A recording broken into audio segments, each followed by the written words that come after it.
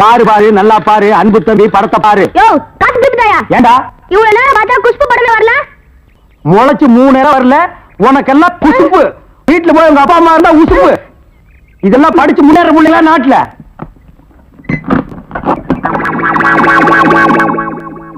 தேங்காய் மாங்காய் பட்டாணி சுண்டல். வாயால சாப்பிடலாம் வகுத்துக்கு நல்லது கண்ணால பக்கறதா கணக்கு எழுதி தேங்காய் மாங்காய் பட்டாணி சுண்டல். ஏங்க இவன் நமக்கு போட்டு என்னென்ன வியாபாரம் பண்ணுவான்? உங்க செல்வாக்குல இவன் எங்கேயாவது வெளிநாட்டு காட்ட வேண்டியதானே ஏற்கனவே வெளிநாட்டுக்கு தான் அனுப்பி இருந்தேன் அங்க எல்லாருக்கும் மண்டையில மூளை இருக்குதான் இவனுக்கு மட்டும் ஸ்பெஷலா இங்க இருக்குது அதுல கொஞ்சம் செதுக்கி எடுத்துட்டு திருப்பி அனுப்பிட்டாங்க. ஏண்டா பண்ணாட? சுண்டல் வியாபாரம் பண்ணி என் வருமானத்தை குறைக்கிறியா? இத்திரு டப்பாவில எவன்டா பாப்பா? டேய் தப்பான்னு சொல்லாத இது. குலதெய்வம் எனக்கு. இத ப்ரொஜெக்ட்னு சொல்லு. சரி ஏதோ ஒண்ணு. இப்பெல்லாம் தேட்டர்ல படம் பாக்குறாங்கண்ணே இப்ப நம்மள எடுத்துக்கங்க. பட்டாணி சுண்டலுக்கு பீச்சலி மதிப்பு ரோட்லி மதிப்பு. உன்னை என்ன செய்யணும் பாரு. அண்ணே, கோவிச்சாதீங்க என்ன நானும் உங்களோட சேர்ந்து இதை ஓட்ட வரேன்னே இது என்ன ஆடா மாடா எருமையா ஓட்டுறதுக்கு ப்ரொஜெக்டர் அது என் வாயில வராது பின்ன என்ன உன் வாயில வாந்தியா வருமா. ப்ரொஜெக்டர் சரி ஏதோ ஒண்ணு விடுங்க சரி. இப்ப சொன்னியே. இது கரெக்ட். சில்லறை சேர்த்து வச்சிருக்கிறியா ஓ, வச்சிருக்கண்ணே மொத்த சில்லறையை எடுத்துக்கிட்டு. அஞ்சிலாந்த தெருவுக்கு போ. அங்க பட கம்பெனி இருக்கு. அங்க போய் கே பி சுந்தராம்பா நடிச்ச ஔவையாரு. கே ஆர் விஜயா நடிச்ச ஆதிபராசக்தி. இப்படி பக்தி படங்களா வாங்கிட்டு வந்து ஓட்டுனா ஆ. ஜனங்க கேட்டி நல்ல பேர் கிடைக்கி நமக்கு கலெக்ஷனுக்கு கலெக்ஷனும் ஆகும் சரி நான் இப்பவே போயிட்டு வந்துடுறேன். ஐயோ வாடகை வெட்டி அரிக்குதே. இந்த வேஷத்தை நான் கலைச்சிட்டு வரேன் அடிச்சோம்னா குடி அந்தமான விழுந்து ஆ. அது கூட என்ன அவசரம்? ரங்க வரட்டும். அண்ணே. எல்லா ஏற்பாடும் பண்ணிருக்குமா? சீக்கிரமா ரங்க வந்துருவான். எல்லாம் உங்க முயற்சியாலடா நீங்க செஞ்ச இந்த உதவிக்கு நான் இன்னும் கைமாறு செய்யறதுனே தெரியல. நான் என்னமா அப்படி பெருசா செஞ்சுட்டேன். நிச்சயமா பெரிய விஷயம்தான் ஆத்தோடு ஒதுங்கி கிடந்த என்னை காப்பாத்தி இத்தனை நாள் இந்த ராஜமாணிக்கம் கண்ணில் படாம என்னை ஒழிச்சு வச்சிருந்தீங்களே. இது பெரிய விஷயம் இல்லையா? எல்லாத்துக்கும் காரணம் என் எதிரியும் ஓ எதிரியும் அதே ராஜமாணிக்கமா இருந்ததுனால தான்.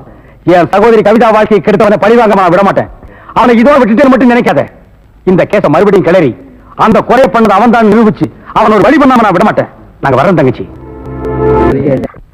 தாய்மார்களே பாட்டிமார்களே இதுவரையிலும் நீங்கள் பயாஸ்கோப்பிலே பார்க்காத படம் ஔவையார் ஆதிபராசக்தி திருவிளையாடல் தில்லாராமோகராம்பாள் இப்படிப்பட்ட பக்தி படங்களை ஒரு அற்புதமான படங்களை உங்களுக்கு காட்டப் போகிறோம். அண்ணனுக்கு ஐடியா நான் தான் கொடுத்தேன். இந்த படத்தை நான் தான் வாங்கிட்டு வந்தேன். காசு கொடுங்க. நீங்க பார்க்க போற படம் உங்க வயசுக்கு தகுந்த மாதிரி உங்க வயசுல பார்க்க வேண்டிய கே. பி. சுந்தரம்பா நடிச்ச ஔவையார் அப்பனே முருகா. பாரு பாரு நல்லா பாரு. ஔவையாரு படத்தை பாரு. சுந்தராம்பா நடிப்ப பாரு. அதுல வரு இடுப்பு பாரு அடுப்பு பாரு பாரு பாரு. பாரு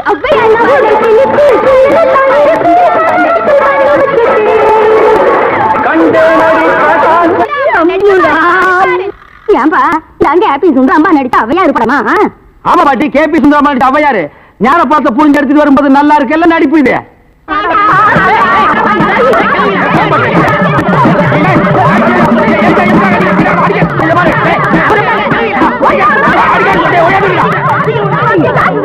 இருங்கடா.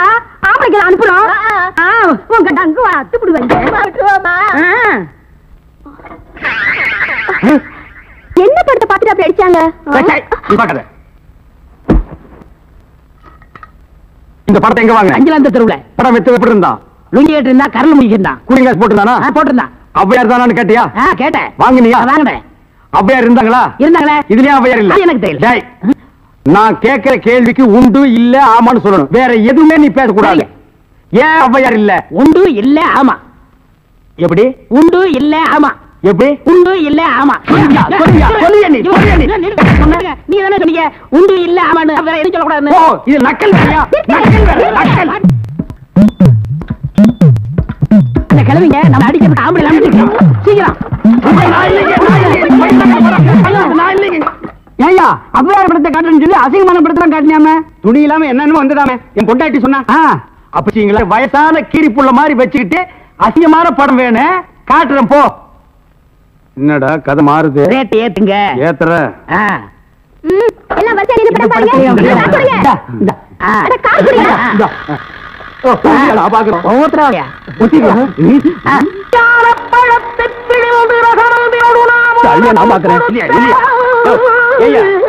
இந்தா, மாதிரி ஏதாவது காமி பண்ணி பார்த்தா நீ அவையார காமிச்சிட்டு இருக்க? என்னது அவையாரா?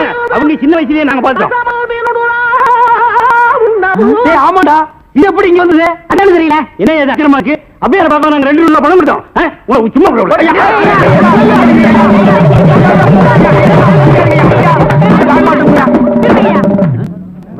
பாரியா இத வச்சுக்கிட்டாங்க ஊர் ஏமாத்தி பழஞ்சு பாச்ச இவன் எப்படி சம்பாதிக்கிற எப்படி வாழ்றேன் பாக்குறீங்க எல்லாம் உன்னால வர்றது இந்த கந்தல் கந்தலான படத்தை எங்க வாங்க அஞ்சு அஞ்சாம் திருவுள்ள அப்புறம் எப்படி இந்த படம் வந்து தெரியல உன்னை வேலைக்கு சேர்த்தே தப்புடா இவர இல்ல பேசக்கூடாது நான் கேட்கிற கேள்விக்கு உண்டு இல்ல ஆமான்னு சொல்லுங்க. வேற எதுவும் பேசக்கூடாது. சரி. இப்படி ஏன் ஜெபிக்கிறது உண்டு இல்ல ஆமா.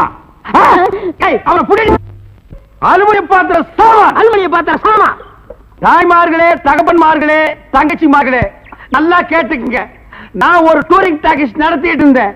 இந்த நாய் ஒரு படம் எடுத்து என்னை இந்த நிலைமைக்கு ஆளாக்கி கொண்டு விட்டுருச்சு அலுமினிய பாத்திர சாமான்.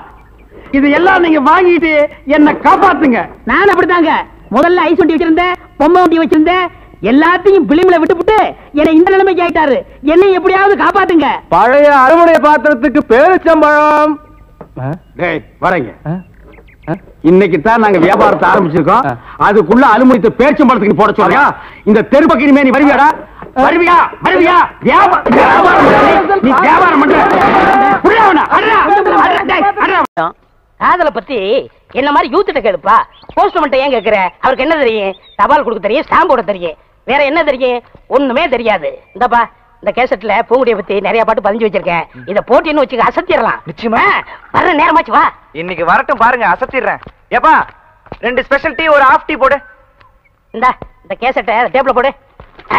பூங்குடி இந்த பாட்டை ஒன்னொன்னா கேட்க போகுது அப்படி அசந்து உன் மடியில விழ போகுது பாரு சூப்பரே என்ன எல்லாரும் வேடிக்கை பார்த்துட்டு இருக்கீங்க எல்லாரும் சேர்ந்து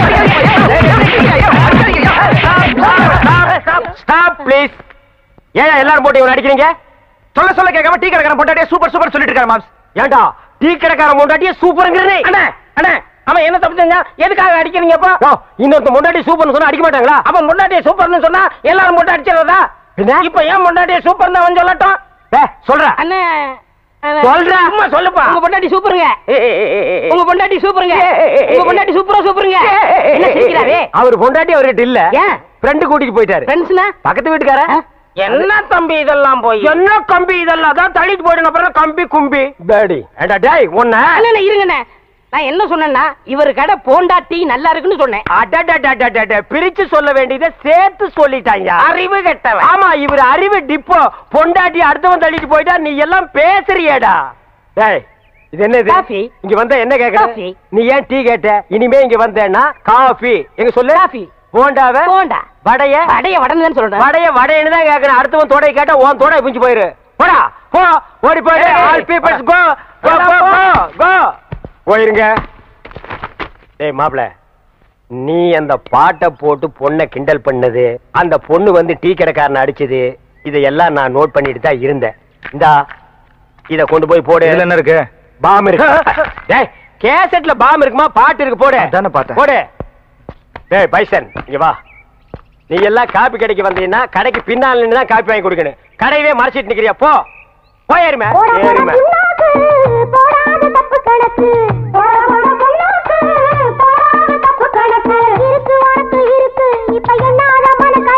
கேட்டியல்ல? அட்வைசிங் சாங் ஐடியா வேணா என்கிட்ட கேடு இந்த அட்ரஸ் இல்லாத பசங்க கிட்டலாம் கேட்காத. கமான் ஃபாலோமா கையகல இடத்த வச்சுக்கிட்டு உனக்கு எனக்குன்னு அண்ணன் தம்பிங்க வெட்டிக்கிட்டு சாகுற இந்த காலத்துல என் பேரங்களை பார்த்தாவது சொத்து பத்துக்களை எப்படி நியாயமா பிரிச்சுக்கிறதுன்னு கத்துக்கிறட்டும். வந்துட்டா முனியாண்டி விலாசி பின்னாலே ஒரு உனக்கு அடுத்த வீட்டு பிரச்சனைனா அல்வா சாப்பிடுற மாதிரி இல்ல? இந்த லக்கல்தனமான பேச்செல்லாம் விட்டுட்டு நேர மேட்டருக்கு வாயா ஏன்னு இப்ப சொத்தை பிரிக்கிறதுக்கு என்னன்னே அவசரம்? பின்ன எதுக்குடா என்ன கூட்டிட்டு வந்தீங்க? எனக்கு என்ன வேற வேலை இல்லையா? பாரு அவன்கிட்ட மியூசிக் இருக்குன்னு காட்டுறான் பாரு. அண்ணே சொத்தை பிரிக்கலாம் நீங்களே முடிவெடுத்த பிறகு நான் பேசுற மாதிரி எதுவுமே இல்ல.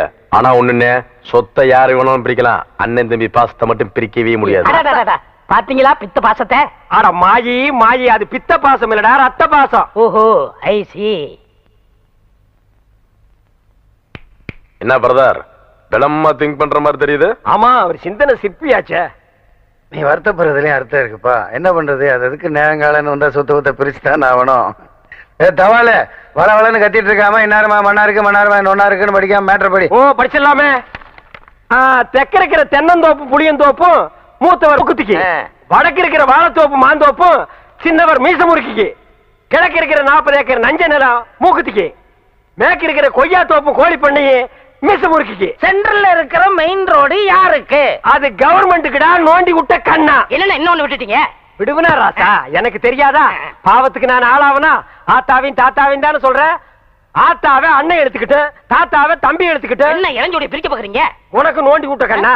கிட்ட போய் பாரு அது இளஞ்சோடிகளா கிளஞ்சோடிகள். எல்லாத்தையும் சரியா பிரிச்சிட்டீங்க.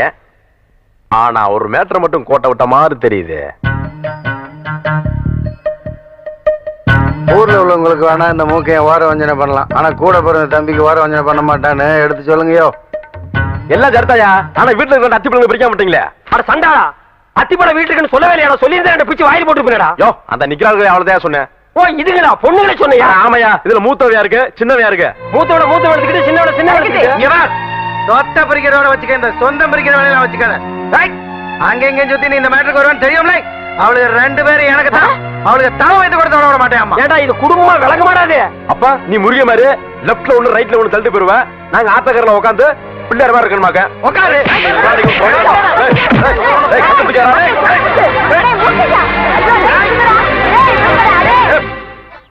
எடுத்து இவளுக்கு ஆத்தாளையும் நான் தான் பெத்தேன் அவங்க அப்பனையும் நான் தான் பெத்தேன் அவங்க எல்லாம் உசுரோட இருந்திருந்தா கூட இந்த கிளவி மாதிரி இம்புட்டு பாசத்தை கொட்டி வளர்த்திருக்க மாட்டாங்க டேய் பேராண்டிங்களா? கிளவி புலம்ப ஆரம்பிச்சுட்டா இனி நிறுத்தவே மாட்டா. இத பாருங்க எல்லாரும் நல்லா கேட்டுக்குங்க. இப்ப நான் எடுக்கிறதா முடிவு. மூத்தவனுக்கு தங்கத்தையும் இளையவனுக்கு பூங்கடியும் கட்டி வைக்க போறேன். இதுல எந்த மாத்தமும் கிடையாது. செத்து மண்ணோட மண்ணா மடிவோமே தவிர நீங்க எல்லாம் நினைக்கிற ஆசைக்கு மட்டும் நாங்க படியவே மாட்டோம். நீங்க உங்க பேட்டிங்க மேல வச்சிருக்க பாசம் உண்மையா இருந்தா இவங்களுக்கு எங்களை கட்டி வைக்கணும் ஒரு எண்ணத்தை மறந்துரு. நாங்க ரெண்டு பேரும் இவங்களை கட்டிக்கிட்டு சந்தோஷமா வாழ்வோன்னு உங்க மனசுல நியாயமா பட்டுச்சுன்னா நீங்க எடுக்கிற முடிவுக்கு நாங்க கட்டுப்படுறோம். ஒரு தடவைக்கு பத்து தடவை யோசனை பண்ணி நாங்க ரெண்டு பேரும் உயிரோட வாழறதுக்கு உண்டான முடிவை சொல்லுங்க. இவளுக்கு சொல்றது சரியா தான் இருக்கு. பேசாம வேற மாப்பிள்ளைய பாத்திர வேண்டியது. என்ன? எனக்கு ஒரு சந்தேகம். ஆரம்பிச்சிட்டியா? தலையில முளைச்சா தலைமுடின்னு சொல்றாங்க. கையில முளைச்சா கை முடின்னு சொல்றாங்க. கால்ல முளைச்சா கால் முடின்னு சொல்றாங்க. நெஞ்சில முளைச்சா சரி அடுத்து நீ என்ன கேட்க போறங்கிறது எனக்கு தெரியும். கேட்ட மகனை அசிங்க அசிங்கமா பேசி போடுவேன். அதுல என்ன? முகத்துல முளைச்சா முக முடின்னு தானே சொல்லணும். ஏன் தாடிக்கிறாங்க உன்னை இந்த மாதிரி எல்லாம் பேச சொல்லி யாரா சொல்லி கொடுக்குறா?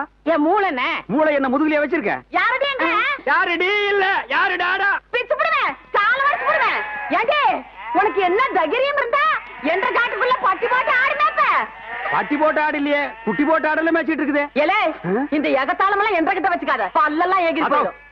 பல்ல பத்தி மட்டும் நீ பேசாத. என்னமோ பெருசா நல்ல பல்லு வச்சிருக்கிற மாதிரி? என்ற மாதிரி ஒரு நாள் சிரிக்க முடியுமாத்தா எங்க நீ சிரி? ஏண்டா எம்பட செருப்பு கண்ணா? ஐயோ பல்லு. குழந்தை பயப்படுது வாய மூடாத்தா உன்னால மூடவும் முடியாது. சத்தியமா இனிமே உன்னை நான் சிரிக்க சொல்லவே மாட்டாத்தா ஏன் ஆத்தா பல்லு அப்படி இருக்கு? என்னமா ஆத்தா பல்ல நான் அப்படி பண்ண மாதிரி என்கிட்ட கேள்வி கேக்குற? வாய வச்சு சும்மா இருந்தா தானே? தீபாவளி நாள் அதுமா போய் அவன்கிட்ட எகத்தாளம் பேசியிருக்கு. பட்டாசரத்து கொளுத்தி அவன் ஆத்தா வாயில போட்டான் அன்னைக்கு செதறன பல்லு தான் இது. இரு கழுத இந்த வருஷம் பட்டாசு கொளுத்தி ஒன்றரை வாயில போடுறேன் ஆத்தா என் வாயில வேண்டாம் பாரு இவன் வாயில போடு. இருங்கடா அடியன் கோண கழிச்சிருக்கே ஆளாளுக்கு எம்பட காட்ட சொந்தம் கொண்டாடுறீங்களா? சொந்தம் கொண்டாடுறதுக்கு நான் மருமக பாரு? என்றா சொல்றா? இது வேறயா? அந்த ஆடு மேய்க்கிற புள்ள உனக்கு மருமகளா வர போகுதா? ஏன்டா இந்த கத்து கத்துற? எனக்கு மருமகன் சொல்ற? அடியே நான் மட்டும் உனக்கு மாமியார அந்த வெடுக்கு வெடுக்கு நாட்டை இடுப்ப நம்ம கழட்டி ஒட்டியான பண்ணி போட்டு போய் சாக்குறது. கேட்டுச்சா?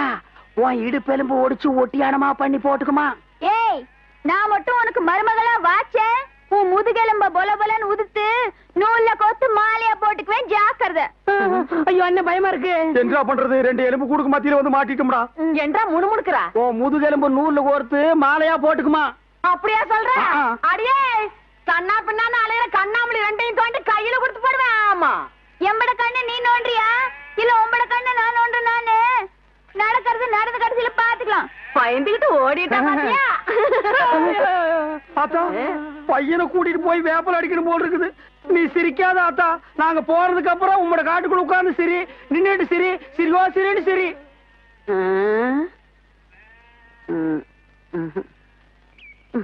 இதுல அதுல பாத்துக்கிறேன். இவங்கள செக்அப் பண்ணல ஏய், லூசு பையல. மண்டையில என்னடா பண்ற? அத்தா இதுக்கு பேரு மெட்டல் கருவி. எங்கேயாவது வெடிகுண்டு இருந்துச்சுன்னு வச்சுக்கேன் இது கண்டுபிடிச்சிரும். சிலிண்டர் வராருல அதான் முன்னெச்சரிக்கை ஏய் மண்டேலா. எஸ் ஆல் த செக்கடே செக்குடு நோ ப்ராப்ளம் நோ ப்ராப்ளம் நீங்க வரலாம். ஐ கம் ஓ உங்களுக்கு குண்டு வைக்க போறாங்களோ? குண்டு நீங்களே வச்சுக்கிட்டா தான். மனசுல பெரிய மந்திரின்னு நினப்பு. ஓ அடிக்கடி நீங்க டெல்லிக்கு பிளைட்ல போய் மந்திரி தான் மீட் பண்ணுவீங்க. எங்களை மீட் பண்ண மாட்டீங்களோ? அத்தா? இந்த கிழண்டர் உயிர் அவ்வளவு கேவலமா போச்சு. மந்திரி உயிர் பெருசா போச்சா? ஒண்ணு மனசுல வச்சுக்க? மக்கள் இல்லையே மந்திரி இல்லை. ஐயோ இவங்கிட்ட வாய் கொடுத்தோம்னா அவ்வளவுதான். வா என்ன போல்ட் போட்டு வச்சிருக்க கழட்டி என்கிட்ட கொடுக்க. அதெல்லாம் இருக்கட்டு இந்த கிறுக்கிச்சி வீட்டுக்கு எதுக்கு வந்த? கிறுக்குச்சியா? சீ மருத்துவச்சி. அடே அதை ஏன்டா உதைக்கிற பாவம். என் பேத்திக்கு அக்கி வந்திருக்கான். பேத்திக்கு அக்கி எல்லாம் வரும். அறிவு வந்திருக்கா? பெரிய அறிவு கொழுந்து முதுகுல சிங்கம் வரைஞ்சா அக்கி குணமாயிடும்னு சொல்லுது. சிங்கம் வரையறவங்கள தான் தேடணும். நீங்க போலாம். அடடடடட, நல்ல செட்டு சேர்ந்திருக்கீங்க. எல்லாம் செக் பண்ணிட்டியா? ஓ எல்லாம் நல்லா செக் பண்ணியா? ஒரு இடம் பாக்கி. எவன் கோமன்டா இது இது? எல்லாம் பாக்குறது இல்லையா நீங்க? அந்த ஒரு இடம் இந்த கிளவிதான். அதை நீ பார்க்க வேண்டாம் நானே பாத்துக்கிறேன் ஏய் ஓல்டு கேர்ள் உனக்கு பாய் ஃப்ரெண்ட் லவ் லெட்டர் எழுதிருக்கேன் டேக் இட். அட எங்க இருந்து வந்திருக்கு? துபாயில இருந்து அங்க யார் இருக்கா? அங்கதானே பாய்க்கு ஜாஸ்தியா இருக்கானுங்க. அண்ணா அங்க வருங்க. வராங்க ஏய் இப்ப நம்ம சொல்ல போற விஷயம் அந்த மூக்கு குத்தி இருக்கானே அவனுக்கு தெரிஞ்சது நம்ம ரெண்டு பேர் தோலை உரிச்சு செருப்பு தைச்சு வித்துருவாண்டா அதுதானே ரம்மு வாங்கிட்டு வந்திருக்கேன். ஏய் நீ ஐடியா மன்னன்டா. வாங்க. போங்க போங்கண்ணா. இருடா. அட தபாலு. ஆ, ஆ, பேச்சு தொடங்குங்க. பேச்சு தொடங்குறதுக்கு நான் என்ன அரசியல்வாதியாடா? ஏதோ பேசுறோம் நீங்களே. அது. ஏன், ஏன் பேந்த பேந்த முழிக்கிற? ஆ. அத்தா உங்க பேத்தி பூங்கொடிக்கு. ஏதோ பக்கி இல்லைங்க அக்கி. அதான்டா வாய் திக்கி நாக்கு சிக்கி அப்படி நான் கக்கிட்டேன். அந்த அக்கி குணமாகறதுக்கு.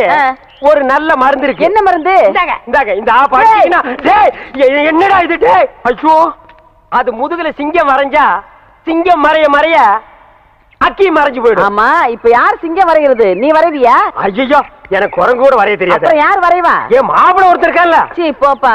ஏன்? வயசு பையல வயசு பொண்ணு முதுகுல எப்படி வரைய சொல்றது? இது கம்ப்யூட்டர் வேர்ல்டு ஆ. ஃபாஸ்டா போயிட்டு இருக்கு. பொம்பளைக்கு பிரசவம் பார்க்க ஆம்பளை டாக்டர் கூப்பிடுறோம்ல? ஆ. அவரை கடவுள் மாதிரி நினைக்கிறோம்ல? ஆ. அது மாதிரி இவனையும் நினைச்சிட்டு போங்க. இல்ல நான் ஒத்துக்க மாட்டேப்பா பாட்டி பரவாயில்ல. என்னங்க. நீங்க அவரை வர சொல்லுங்க. எனக்கு சம்மதம். டேய் ஒர்க் அவுட் ஆகுது என்னடி? என்ன ஒன்னடி பாரு ஒர்க் அவுட் ஆகிற நேரத்துல உடைக்குது பாரு. பாட்டி? இதுல என்ன இருக்கு? ஆபத்து கொண்டு பாவல. நீ பேசாம வாய முடியாது போடு. டேய் இந்த வீட்ல இருந்து ஒண்ணுக்கு தானே பிரெயின் இருக்கு. சும்மா. என்னடி ஆளாளுக்கு மாத்தி மாத்தி குழப்புறீங்க? சரி. என் பேத்தி ரொம்ப கஷ்டம் தான் படுறா. நீ அவனை வர சொல்லு. எப்ப அருணா அன்னைகிட்ட ஏதோ சொல்லணும்னு சொன்னீங்க. சொல்லுப்பா. எங்க நான் சொல்றத கேக்குறாரு. இவர்கிட்ட எப்படி சொல்லி புரிய வைக்கிறதா எனக்கு தெரியல. குடுகுடுன்னு ஓடி போய் அந்த ஓட்டு மேல ஏறி நான் சொல்லு சீரியஸா சொல்றேன் மேம் நான் சீரியஸ்க்கு வர தயாரா இல்லப்பா. அண்ணே எனக்கு தெரியுதாண்ணே? இவர் தெரியல? தெரியலையே. உனக்கும் தெரியலையா. அட என்னங்கப்பா? இவர்தான் பாகிஸ்தான் அதிபர் முஷரப் ஏய் நான்சென்ஸ் அறுக்கு போற ஆடு மாதிரி மாலை போட்டுட்டு நிக்கிறியே நீ யாருன்னு சொல்றா? அண்ணே உங்க அப்பா எங்க அப்பாவுக்கு அந்த காலத்துல அஞ்சு லட்சம் ரூபாய் பிச்சை காசு போட்டாருண்ணே. அதை வச்சு நான் கோடீஸ்வரன் ஆயிட்டோண்ணே. பாத்தியா? பிச்சை வாங்கினவன் கோடீஸ்வரன் ஆகிட்டான் பிச்சை போட்டவன் பிச்சாண்டி ஆகிட்டான். அத நைஸா குத்தி காட்டுறான் பாத்தியா? அண்ணா அப்படியெல்லாம் சொல்லாதீங்கண்ணே. சரி அப்படியெல்லாம் இனிமே சொல்ல மாட்டேன். உங்களை பாக்குறதுக்கு எப்படி இருக்கு தெரியுமா? எப்படி இருக்கு? ரொம்ப கேவலமா இருக்கு. ரொம்ப வாடுறானே. நான் என்னப்பா பண்றது? என்னைக்கு எங்க அப்பா இந்த நான்சென்ஸ கையில புடிச்சு கொடுத்தானோ அன்னைக்கு இருந்து பீட உராசிட்டே இருக்குது பாரு. அண்ணே அவரை சொல்லி என்னண்ணே குத்தம்? உங்களுக்கு நேரம் சரியில்லை. நீ அவனுக்கு சப்போர்ட் பண்றியா? ஓ நேரம் சரியில்லடா. அண்ணே எனக்கு இருக்கிற தோட்டம் துறவு ஆஸ்தி அந்தஸ்து எல்லாத்தையும் சரி பாதி உங்களுக்கு ஆ? உங்க அப்பா எப்படி இருந்தாரோ அதே மாதிரி உங்களை நான் பார்க்கணும்னு ரொம்ப விருப்பப்படுறேண்ணே ஏய் கிளிண்டா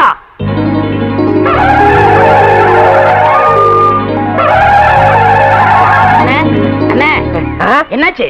ஒரு சின்ன பிளாஸ் என்ன முக்குற? டீமில் கூட சந்தோஷமா இருக்க கூடாதா உரமுடி தலையா அண்ணே எங்களுக்கு இன்னைக்கு தான் கல்யாணம் இருக்கு நாங்க நூறு ஆண்டு வாழணும்னு வாழ்த்துங்கண்ணே. நூறாண்டா சரி தொண்ணூத்தொன்பது சொல்லுங்க. ஏன்டா அவன் இன்னும் பில்டிங் லீஸுக்கு எடுத்திருக்கான். சரி விழுங்க. நூறாண்டு வாழுங்க. அண்ணே வாங்க நீங்களும் முன்னாடி வாங்க. டேய் அவனுக்கு கூப்பிடுற? அவரும் வயசுல மூத்தவர் அதான். டேய் வேணாண்டா. இல்லண்ணே பரவாயில்லண்ணே. டேய் அவரை பத்தி உனக்கு தெரியாதுடா. பரவாயில்லண்ணே. டேய் வீண் பழிக்கு ஆளாகாத. அட போங்கண்ணே அவ்வளவு இல்லைங்க. அவ்வளவு. போங்க. ஆ, எதிரிங்க எதிரிங்க இந்தாம்மா ஏன் மொய் பணம்? எவ்வளவு? ரூபா. உன் பூம் போட்டு நிலைச்சு நிக்கணுமா இந்த ஒத்த ரூபாய்க்கு அவனுக்கு பூவும் போட்டு நினைக்குமா சரி மரியாதை கொடுத்து போது எழுந்திரு. பொண்ணா கேளுப்பா எழுந்திரு. எழுந்திருப்பா எழுந்திரு. இந்தப்பா இந்தம்மா உன் புருஷனை எழுப்பி விடு. மாமா மாமா எழுந்துருங்க மாமா. மாமா ஐயோ மாமா என்னை விட்டு போயிட்டீங்களே மாமா. என்னது போயிட்டானா? ஐயோ ஐயோ மாமா. ஐயோ ஆசீர்வாதம் வாங்கினவன் டாப்ல போயிட்டான். ஆசீர்வாதம் கொடுத்து சைடுல போயிட்டா நம்ம ரெண்டு பேரும் ஒயிட்ல போயிடலாம் வா. மாப்பிள உன் கதையை சொல்ல இப்படி துடிக்கிறியே? இந்த உலமூடி தலைய யாரு யாருன்னு கேப்பியே? இவன் கதையை சொல்றேன் கேளு. இருபத்தஞ்சு வருஷத்துக்கு முன்னால எங்க அப்பா எப்படி வாழ்ந்தான் தெரியுமா?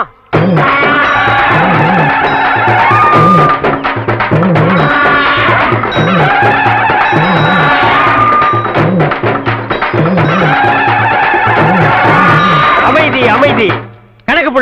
புள்ள மக்களுக்கெல்லாம் என்ன குறைன்னு கேட்டு சொல்லு. ஐயா இங்க வாய்யா கணக்கு பிள்ளை இவனுக்கு என்ன குறை? இவனுக்கு ரெண்டு பொண்டாட்டியாம் ஐயா.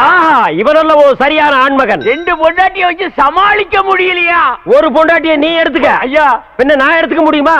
அதுக்கு என்ன தேவை? பணம் தேவையாம் ஐயா? கேஷியர். ரெண்டு பொண்டாட்டி என்ன? நாலு பொண்டாட்டியோட வாழ டேக்கி நல்லா இருக்கணும் ஐயா. கிட்ட வராதடா யானை மிதிச்சிரு என்னது? குழந்தையின் அழுகுரல் சத்தம்? ஆ? என்ன ஆச்சரியம்?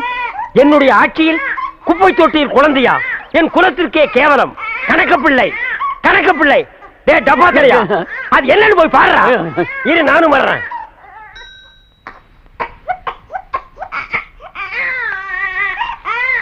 டேய் டப்பா. என்னடா குனிஞ்சு குனிஞ்சு பாக்குற? உள்ள உனக்கு செத்துக்கிட்டு போயிடாது. போடா. தென்பாண்டி சீமையிலே தேரோடும் வீதியிலே மான் போல வந்தவனே. யார் குழந்தை? நீ யார் குழந்தை? யார் குழந்தை? நீ யார் குழந்தை? என்ன சத்தம்? ஆனா செத்து போச்சுலையா என்னது? யானை செத்து போச்சா? இத தொட்ட யானையே செத்து போச்சு. தகுனமே சரியில்லடா. இவ்வளவு பெரிய யானையே செத்து போச்சு. ஐயா நம்ம அரண்மனை இடிஞ்சு போயிருச்சியா அரண்மனை இடிஞ்சு போச்சா? மாட மாளிகை கூட கோபுரம் எல்லாம் போச்சு. என் சொத்தெல்லாம் போயிடும் போல் இருக்கு. அப்படி சொல்லாதீங்க ஐயா.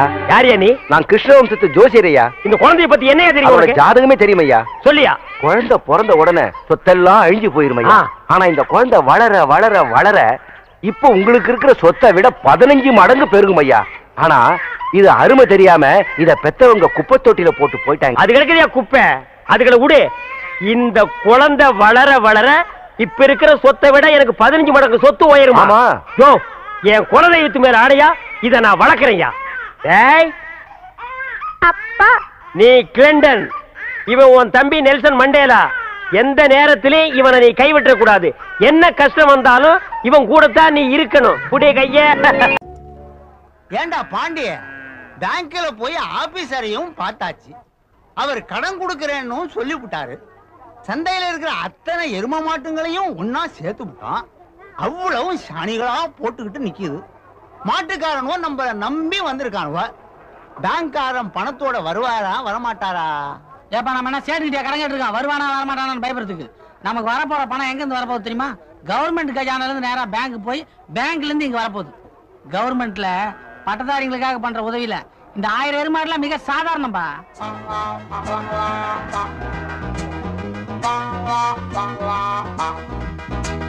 வணக்கம் சார். நீங்க ஏன் பேங்க்ல ஆபீசரா இருக்கீங்கன்னு உங்க சின்சியாரிட்டில இருந்தே தெரியும் சார். தம்பி அன்றைக்கே ஒரு முக்கியமான விஷயத்தை உங்ககிட்ட சொல்ல மறந்துட்டேன். இந்த பட்டதாரி உதவி திட்டத்தின் கீழ் கவர்மெண்ட்ல தொண்ணூறு சதவிகிதம் கடன் கொடுக்குது. நீங்க பத்து சதவிகிதம் உங்க சொந்த மூலதனத்துல இருந்து போடணும். என்ன சார் இவ்வளவு பெரிய குண்டை போடுறீங்க? இப்ப திடீர்னு அவ்வளவு பணத்துக்கு நான் எங்க போவேன்? என்ன தம்பி நீங்க இவ்வளவு பெரிய திட்டம் போட்டிருக்கீங்க? உங்ககிட்ட நூறு ரூபாய் கூட இல்லையா? நூறு ரூபாயா? பத்து பர்சன்ட்டுக்கு நூறு ரூபாய்னா அப்ப எனக்குன்னா நீங்க தொள்ளாயிரம் ரூபாய் கவர்மெண்ட்ல கடனா கொடுக்க போறீங்க? ஆமாப்பா. நம்ம கவர்மெண்ட் கண்ணுக்குட்டி இல்லாத ஒரு எரும மாட்டை வாங்க தொள்ளாயிரம் ரூபாய் கடனா கொடுக்குது. உங்க மூலதனத்துல இருந்து நூறு ரூபாய் போட்டு ஒரு கண்ணுக்குட்டி வாங்கிக்கிறீங்க. ஏன் சார்? நான் ஆயிரம் எருமை பத்தி கேட்டுட்டு இருக்கேன். நீங்க ஒரு எருமை பத்தி சொல்லிட்டு இருக்கீங்க. தம்பி நம்ம கவர்மெண்ட பத்தி உனக்கு தெரியாது. அது எப்பவுமே கொஞ்சம் மெதுவா தான் செய்யும். இப்ப உனக்கு ஒரு எருமைய கடனா கொடுத்திருக்காங்க அதை நீ எப்படி பராமரிக்கிறேங்கிறத பார்த்ததுக்கு அப்புறம் தான் நீ கேட்ட ஆயிரம் எருமைய பத்தி கொஞ்சம் யோசிப்பாங்க. அது வரைக்கும் நான் பொறுமையாவா இருக்கணும்? தம்பி இந்த ஒரு எரும மாட்டை வாங்குறதுக்கு நீங்க மூணு பேர்ட்ட கையெழுத்து வாங்குனீங்க.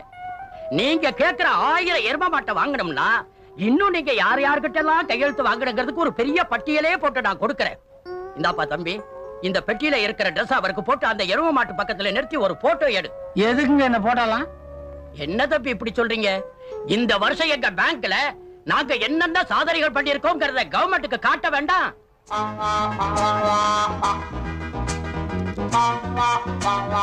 அப்பா காவேரி விநாயகா உன்னை நம்பி தான் இந்த தொழிலை நான் இன்னைக்கு ஆரம்பிக்கிறேன். உலகத்துல டென்மார்க் எப்படி பால் பண்ண தொழில சிறந்து விளங்குதோ அதே மாதிரி இந்த தமிழ்நாட்டை உருவாக்கணும்ன்றதான் என்னுடைய நீண்ட நாள் லட்சியம். இந்த லட்சியம் நிச்சயமா நிறைவேறும். ஏன்னா தமிழ்நாட்டுல நிறைய எருமைங்க இருக்குது. அதுமே புறம்போக்கு இருக்குது. ஆனா மேய்க்க ஆளுங்க தான் இல்ல. உன்னோட பார்வை மட்டும் என்னுடைய பால் பண்ண திட்டத்து மேல விழுந்தா போதும். உனக்கு எடைக்கு எடை. சாணி தரேன்னு வேண்டிக்கோ. பட்டணத்துக்கு போய் படிச்சு பட்டம் வாங்கி பணம் சம்பாதிப்பேன்னு நினைச்சா நீ என்னடான்னா மாட்டை வாங்கிட்டு வந்து என்ன சாணி எடை போட சொல்றியா? என் தலையெழுத்துறா. எங்க சாணி? இதான் நமக்குள்ள இருக்கிற தாழ்வு மனப்பான்மை. நீங்க ஏன் இதை சாணியா நினைக்கிறீங்க? செய்யும் தொழில தெய்வம் தெரியுமா? அப்ப சாணிய தெய்வங்கிற? ஏன்? பொங்கல் அன்னைக்கு இதே சாணியை புள்ளியாருன்னு பிடிச்சி வச்சுட்டு நீங்களே சாமி கும்பிடல. இப்ப நாம எதை எப்படி நினைக்கிறோமோ அது அப்படிதான். இத சாணின்னு நினைக்கலாம். அதே நேரத்துல எரிவாயுக்கு பயன்படுற ஒரு ரசாயன பொருளா நினைக்கலாம்ல? இதுக்கு இங்கிலீஷ்ல பேரு கோபர் கேஸ். உன்னை இவ்வளவு செலவு பண்ணி படிக்க வச்சதுக்கு சாணிய பத்தி தெரிஞ்சுக்கிட்டு தான் லாபம். தெரியாம தான் கேக்குறேன். இத எடை போட்டு நீ என்ன பண்ண போற? என்னைக்குமே ஒரு பட்டதாரி முட்டாள்தனமா செய்ய மாட்டான்பா. இப்ப சாணியோட அளவு கூடனாலோ குறைஞ்சாலோ மாட்டுக்கு உடம்பு சரியில்லைன்னு அர்த்தம். உடம்பு சரியில்லாத ஒரு மனுஷனால எப்படி சரியா உழைக்க முடியாதோ அதே மாதிரி உடம்பு சரியில்லாத ஒரு எருமையால சரியா பால் கொடுக்க முடியாது. இப்ப தெரியுதுங்களா நான் எதுக்கு சாணி எடை போட சொன்னேன்னு? என்னமோ அல்வாவை அள்ள சொல்ற மாதிரி சொல்ற?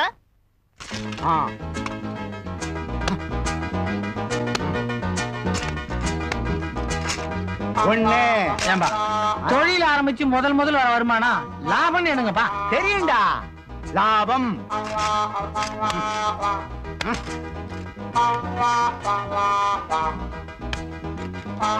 அஞ்சு கிலோ ஐநூறு கிராம். டாக்டர் என்கிட்ட நாலு கிலோ ஐநூறு கிராம் இருக்கும்ல சொன்னாரு. ஓ நீங்க கண்ணு குடித்து சேர்த்து போட்டிருக்கீங்களா அப்ப கரெக்ட் தான். எருமை நல்லா ஆரோக்கியமா இருக்கு. என்ன பொறுத்த வரைக்கும் சாணி கணக்கு கரெக்டா இருக்கு. நிச்சயமா இருக்காது. ஏன்? காலையில இதே அளவு சாணி எடுத்து தண்ணியில கரைச்சி வாச தெளிச்சனே அது எந்த கணக்குல சேர்த்தி? எனக்கு ஒரு சந்தேகம். என்ன? இவ்வளவு எருமை போட்டது தானா ஆமா எனக்கும் அதே சந்தேகம் தான் ஐயா முனிசிப்பு இந்த பாரத்துல ஒரு கையெழுத்து போட்டு கொடுங்களேன். ஆஹா. ஆமா பேங்க்ல ஏற்கனவே நீங்க ஒரு எரும மாடு கடனா வாங்கியிருக்கீங்கல்ல? ஆமாங்க. நீங்க மட்டும் பெரிய மனசு பண்ணி இதுல ஒரு கையெழுத்து போட்டீங்கன்னா தமிழ்நாட்டை இந்தியாவிலேயே அதிக எருமை உள்ள ஒரு மாநிலமா நான் மாத்தி காட்டுறேங்க. அப்போ நான் கையெழுத்து போட்டா தான் உங்களுக்கு ஆயிரம் எருமை கிடைக்கும். நீங்க ஒண்ணும் உங்களை பத்தி பெருசா நினைச்சுக்காதீங்க. இது ஒண்ணும் எருமைக்கு கேரண்டி கையெழுத்து இல்ல நீங்க கையெழுத்து போட்டாதான் நான் இந்த ஊருக்காரன். இவர் தான் எங்க அப்பா. இவருக்கு தான் நான் பிறந்தேன்னு கவர்மெண்ட் நம்புமா? அப்போ கையெழுத்து போட்டா எவ்வளவு கொடுப்பீங்க? எதுக்குங்க? அதெல்லாம் லஞ்சம்டா. நீ எங்க அப்பான்னு சொல்றதுக்கு நான் இவருக்கு லஞ்சம் கொடுக்கணுமா? எவ்வளவு சார்? அப்போ நூறு ரூபா கொடு.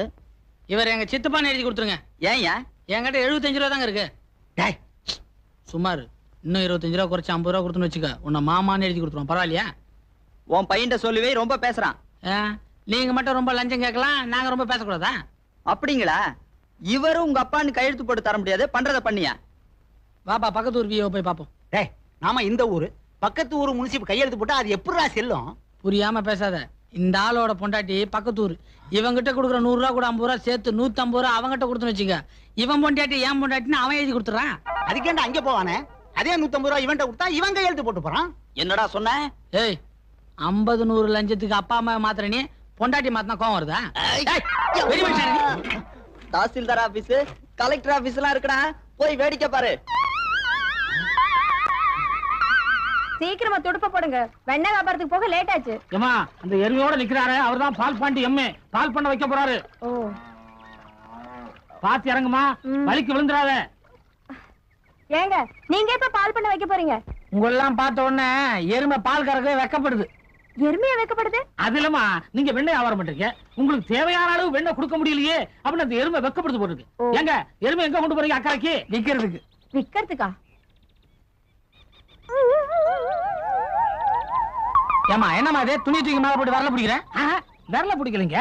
எருமைக்கு விலை பேசுறாங்க. என்ன விரல பிடிச்சா என்ன விலை எனக்கு எப்படியா தெரியும்? எந்த விரல பிடிக்கிறாங்கன்னு சொல்லுங்க. விலைய நான் சொல்றேன். நடு விரல பிடிச்சிருக்காங்க. நடு விரல அப்ப நானூறு ரூபாய் இந்தாமா இது கவர்மெண்ட் எருமை கடன் கட்ட முடியாம தான் நானே சந்தைக்கு எடுத்து போறேன். நீ குடுக்குற நானூறு ரூபா வட்டி கட்டவே போதா தெரியுமா? அண்ணே நடு விரல விட்டுட்டு இப்ப கட்ட விரல பிடிச்சிட்டாங்க. கட்ட விரல பிடிக்கிறாங்களா? இது மாடு வாரம் இல்ல இது ஒரு மாதிரியான விவகாரம். தப்பிச்சு போடுங்க?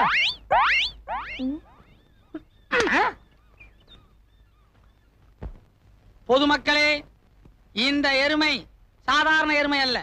அரசாங்கத்தோட எருமை. இதை நான் விற்பதற்கு காரணமே என்னுடைய சொந்த கஷ்டம் அல்ல அரசாங்கத்தோட கஷ்டம். எனக்கு கொடுத்த தொள்ளாயிரம் ரூபாய் கடன் தொகையை உடனடியாக திருப்பி தர வேண்டி அரசாங்கம் எனக்கு இதுவரை ஒன்பது முறை சீட்டு அனுப்பியுள்ளது. என்னுடைய இந்த தொள்ளாயிரம் ரூபாய் அரசாங்கத்துக்கு சென்றால்தான் அவர்கள் பல நல்ல திட்டங்களை நிறைவேற்ற முடியுமாம் அதுவும் இல்லாமல் ஒரு பட்டதாரியான நான் கவர்மெண்ட் கஜானாவை நிரப்ப வேண்டிய காலகட்டத்தில் இருப்பதால் என்னுடைய அருமையான இந்த எருமையை விற்க வந்திருக்கிறேன். இந்த ஏலம் கேட்க வந்த உங்களை ஊக்குவிப்பதற்காக நான் ஒரு பரிசு திட்டம் வைத்திருக்கிறேன். அதாவது யார் இந்த எருமையை அதிக விலைக்கு வாங்குகிறார்களோ அவருக்கு என்னுடைய இந்த பட்டமளிப்பு உடையை இனாமாக தர இருக்கிறேன். ஆரம்பிக்கலாமா? சீக்கிரம் முடிடா பணத்தை வாங்கிட்டு போலாம். இந்த அருமையான எருமையின் குறைந்த விலை ஐநூத்தி ஒன்னு. அப்போது நல்லதங்கா